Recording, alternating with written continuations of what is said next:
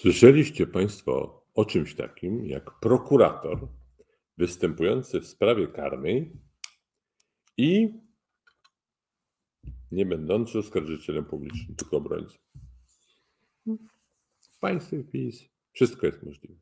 Pod warunkiem oczywiście, że oskarżonym jest pisowiec. No bo wiadomo, że jak jest inaczej, to prokurator jest wyjątkowo ostry i od razu dożywocie.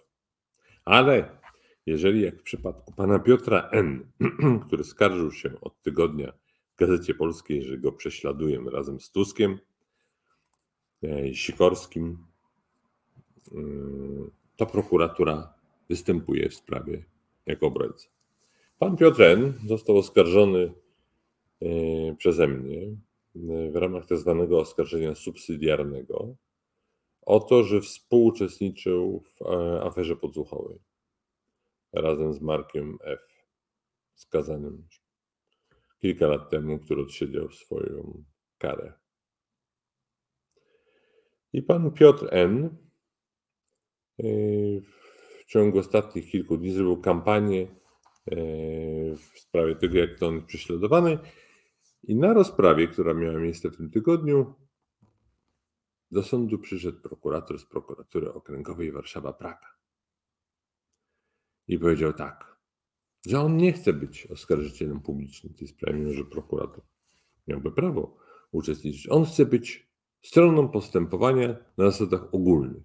Tak jak w każdej sprawie cywilnej, administracyjnej czy karnej, prokurator może być stroną, tylko że jeżeli, jeżeli jest oskarżenie publiczne, a to jest przestępstwo ścigane z oskarżenia publicznego, no to prokurator w sposób naturalny jest oskarżycielem publicznym i może obok, obroń, obok oskarżyciela subsydiarnego występować. A w tym przypadku nie. No i sąd, konsternacja. Co się dzieje? Gdzie prokurator ma siąść? Nie chciał siąść tam, gdzie siedzi obrońca i oskarżony. Nie chciał tam, gdzie oskarżyciel subsydiarny, więc siadł na środku. No i sąd go pyta o stanowisko w związku z tym, że przyszedł. On, on wnosi o umorzenie postępowania no, umorzenie postępowania. Sąd mówi, ale to już dwa razy było, były próby umorzenia. Raz sąd umorzył, sąd okręgowy drugiej instancji uchylił, drugi raz wnosiła strona obrona, obrona i sąd oddalił. I pan prokurator jeszcze wnosi? On mówi tak, trzeci raz. No i sąd oddalił po raz kolejny, mimo że sądzi neosędzia. Tak widzicie Państwo wygląda prokurator dla pisowca w państwie PiS. Miły człowiek. Przyjdzie, zawsze pomoże oskarżonemu. A w sprawach, w których ja pozywam różnych ludzi, na przykład redaktora Adamczyka, po jego stronie się przyłączył prokurator do procesu cywilnego. Po stronie pozwanej.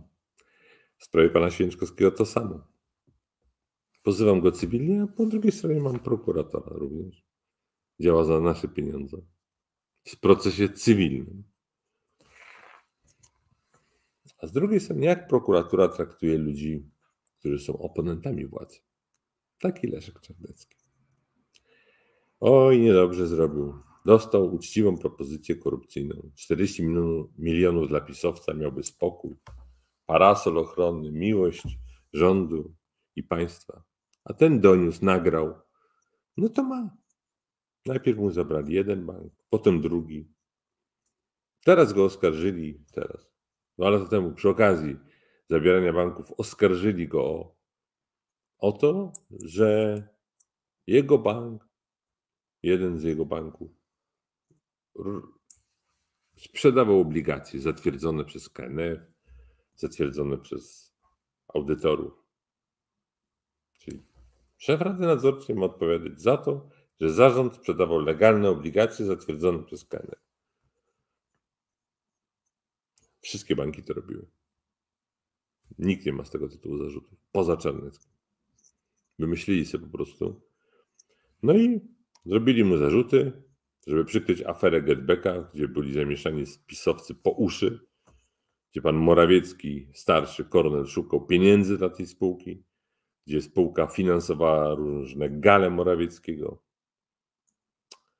No wymyślili sobie, że ludzie źli, że stracili na obligacjach, będą mogli sobie, sobie mieć nadzieję na wyciągnięcie pieniędzy od Czarneckiego. No to zrobili mu sprawę. Czyli dwie pieczenie za jednym ogniem. Raz zrobili wniosek aresztowy, sąd stwierdził brak prawdopodobieństwa. Nie można niczego zrobić, żadnego środka zapobiegawczego. No, czekali chwilę i zrobili drugie, drugi wniosek. I prasa co? Pisowskie pieski w różnych mediach, nawet tych rzekomo wolnych, piszą. Wniosek prokuratury o areszt i uzasadniają stanowiskiem prokuratury. I nikt nie, nie napisze, że, że już sąd oddalił z powodu braku uprawdopodobnienia. Nagonka, oczernianie, próba pozbawienia wolności, pozbawienie majątku. Plan Sokala, który ujawnił na nagraniu, każdy może odsłuchać, pan Marek H., został zrealizowany w 100%. A zawiadomienie w tej sprawie sprzed pięciu lat nierozpoznane do dziś. Pięć lat zawiadomienie nie jest rozpoznane. Się dziwimy, że później prokuratorzy są pieskami PiSu. Jak przecież za coś takiego grozi im wieloletnia odsiadka. Wniosek, proszę Państwa, z tego jest smutny. Mamy państwo autorytarne. Jeżeli prokuratura działa w ten sposób, że chroni władzę, a zwalcza obywatela, to znaczy, szczególnie tego obywatela, który jest w opozycji do władzy, to, to znaczy, że mamy państwo autorytarne.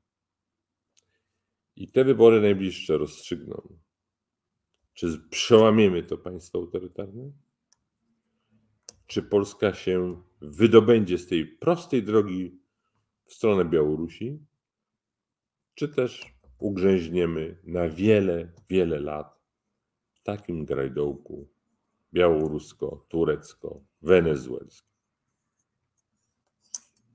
Taka jest stawka tych wyborów. Już niecałe 5 miesięcy.